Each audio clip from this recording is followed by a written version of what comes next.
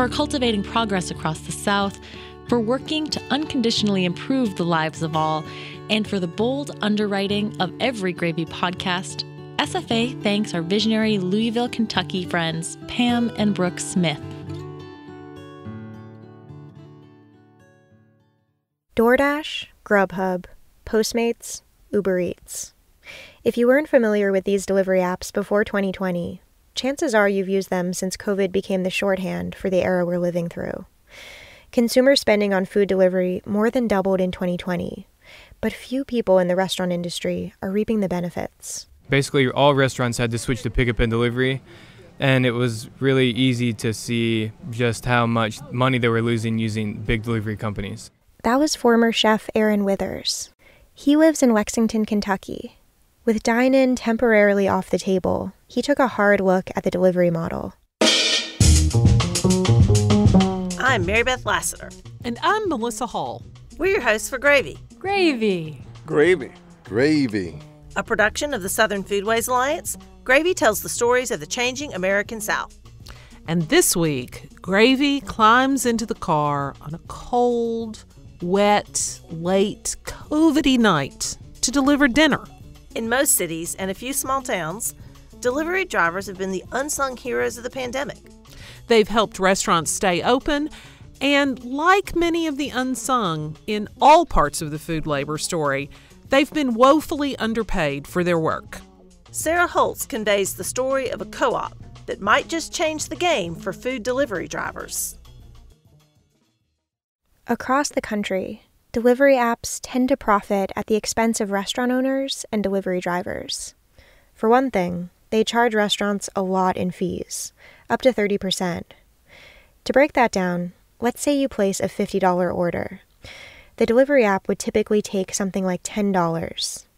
It's common for restaurant owners to spend 30% on food costs, 30% on overhead, and 30% on labor, leaving a 10% profit margin. So at the end of the day, after paying for all of those things plus delivery fees, a restaurant might make about $4 from your $50 order.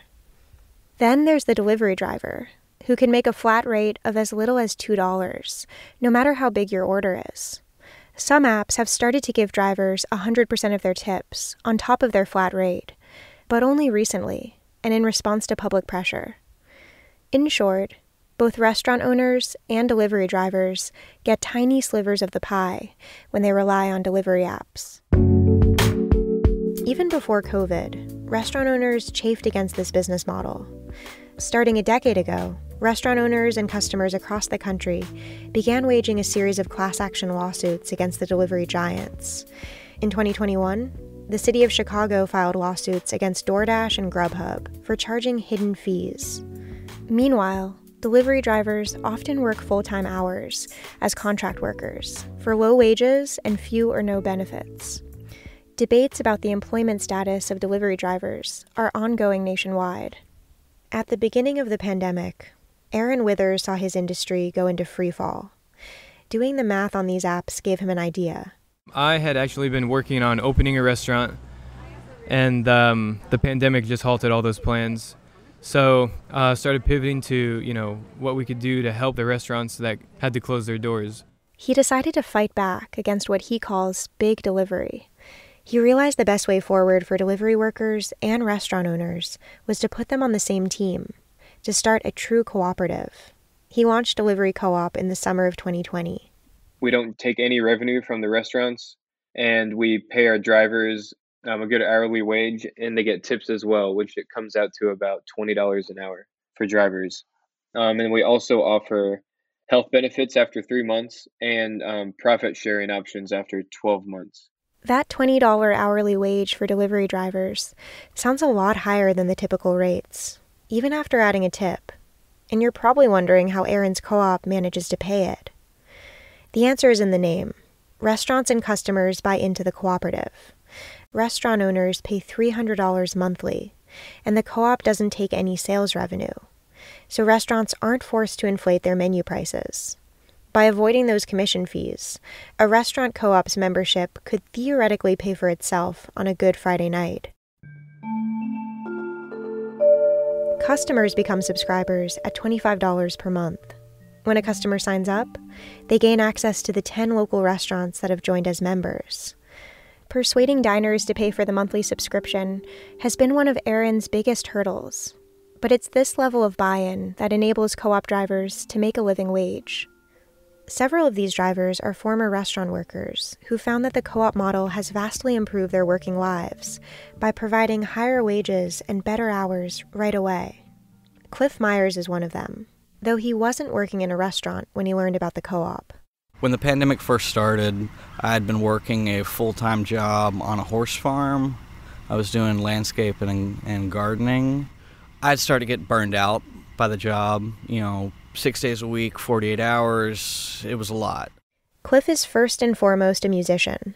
He's played guitar and bass in several bands around town. When he started at the horse farm, it was a day job that enabled him to make time for his music. Uh, unfortunately, with the lockdowns and everything, and music venues closing down, and having to operate as to go bar businesses, you know, I wasn't able to play music. I didn't have I didn't have an outlet to create or to perform or do anything that I'm passionate about and enjoy. One night during the first month of quarantine, after a long day at the horse farm, Cliff was scrolling through social media when he came across a post from an old high school friend, Aaron Withers, who had just launched Delivery Co op. Cliff had worked several restaurant jobs before, and the co op sounded like the ideal pandemic pivot. He took the job, which immediately raised his earnings to an average of $20 an hour. That's unprecedented in Kentucky, which follows the federal minimum wage of $7.25 per hour and the tipped minimum wage of just over $2 an hour. Labor disputes in the state turned violent at several points in the 20th century.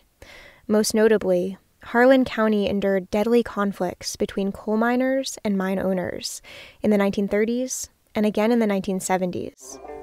Which side are you on, boys? Which side are you on? As the pandemic stretches on, we're seeing remnants of that class struggle play out between delivery drivers and big delivery apps. According to Aaron, Delivery Co op aims to put drivers, restaurants, and takeout customers all on the same side. And it's got an important partner in a food justice organization called Food Chain. I met Aaron at a craft brewery called West 6th, which is adjacent to Food Chain's headquarters. Hey, how's it going? It's going good. How you doing? We walked over to Food Chain, where he introduced me to Leandra Foreman, their operations director. Leandra showed us around the warehouse. When we started, we ran an indoor aquaponics farm, and then eventually in 2017, we built this kitchen that you're in now that's our teaching and processing kitchen. Like so many food focused nonprofits around the country, Food Chain doubled down on organizing meals for folks struggling with food insecurity in Lexington when the pandemic started. So we were just trying to figure out how to problem solve getting food directly to families in a way that they could actually receive it and it be useful, as well as using our resources best. Food Chain developed a model where they prepare a week's worth of hot meals, frozen meals, and sandwich kits for each household. The biggest hurdle was transportation, and that's where Delivery Co op came in. It actually started with us doing just a mobile meal handout in neighborhoods. And then as we were looking at the approaching winter months and before the vaccine was out and numbers skyrocketing, and just really thinking about how many families, seniors, and folks with disabilities just really don't have the ability to connect to the food resources that are being provided because of that transportation link. Enter Aaron and Delivery Co op. Drivers like Cliff deliver meals from Food Chain during the hours they aren't delivering for restaurants, and they're compensated for a full day's work. Here's Cliff. I like it because I get to do both. You know, not only am I helping out the restaurants, I'm helping out local folks. You know, get get meals delivered to them. There's a lot of pride in that. I was able to find a kind of a purpose in in all this.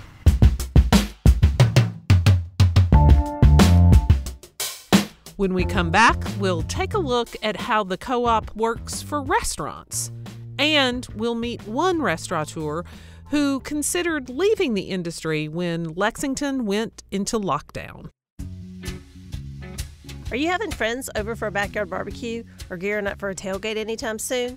If so, Lodge's new Sportsman's Pro cast iron grill can handle the heat. The enhanced fan favorite has a streamlined design that makes for hassle free assembly and cleanup. Dual air vents let you control the heat evenly as you cook your steak, burger, or brat. Go to lodgecastiron.com to purchase the Sportsman's Pro cast iron grill for your next cookout. For their support of the Southern Foodways Alliance and this Gravy podcast, we thank Lodge Cast Iron.